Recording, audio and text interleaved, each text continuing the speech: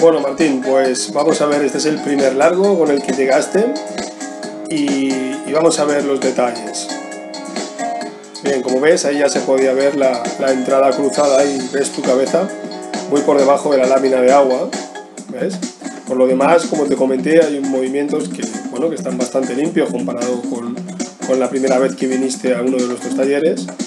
Y en principio teníamos, también ves los codos, los codos están demasiado bajos, no hacen, bueno, no acometes fuerzas inerciales por este tema. Ahora la vuelta también lo vas a poder ver. ¿Ves? Ahí los codos muy abajo.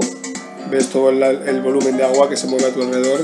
Revuelves mucho el agua por este, este tipo de golpeo también que realizas. Entonces, esa cabeza tan profunda, esos codos tan bajos y esa patada que a veces está activa eh, en, en, el pie izquierdo y en el pie derecho, pero otras veces no, eran cosas que teníamos que remediar lo antes posible. Vamos a ver el vídeo lateral del resultado de después. ¿Ves? Ya los codos arriba, como te comentaba, la cabeza ya siempre está en la lámina, pero, pero no tan abajo que por eso tragabas agua de vez en cuando. La corrección de la entrada también está hecha.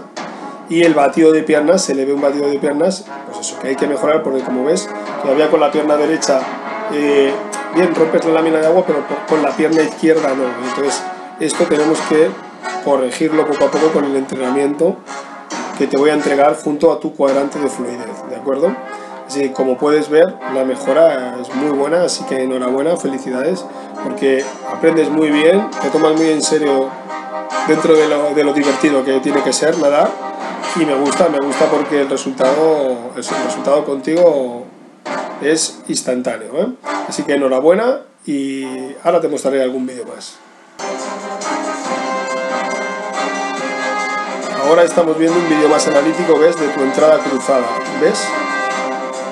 Con tu brazo derecho estás cruzando continuamente. Bueno, aquí se ve perfectamente tu cabeza abajo del todo. Y aquí ves como tu pierna derecha rompe la lámina de agua, pero tu pierna izquierda está siempre por debajo. Esto es un error que tenemos que, que solventar para que tu latido de piernas sea realmente propulsivo y efectivo en su sitio. Eso te permite realizar otros movimientos mejor. Fíjate los codos. Los codos han subido pues un montón, ¿vale?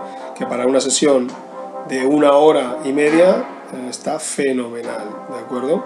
Y las piernas, ¿ves el enfoque de las piernas cómo nos sirvió tanto?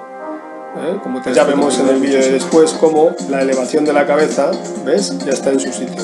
La entrada, ¿ves? Ya no es una entrada cruzada, ¿lo ves? Aquí estamos viendo un plano frontal, ¿vale? Y la activación de las piernas no está todavía del todo resuelta, pero está más, ¿sí? profundizas más a la hora de, de, bueno, de moverlas de manera más eficiente.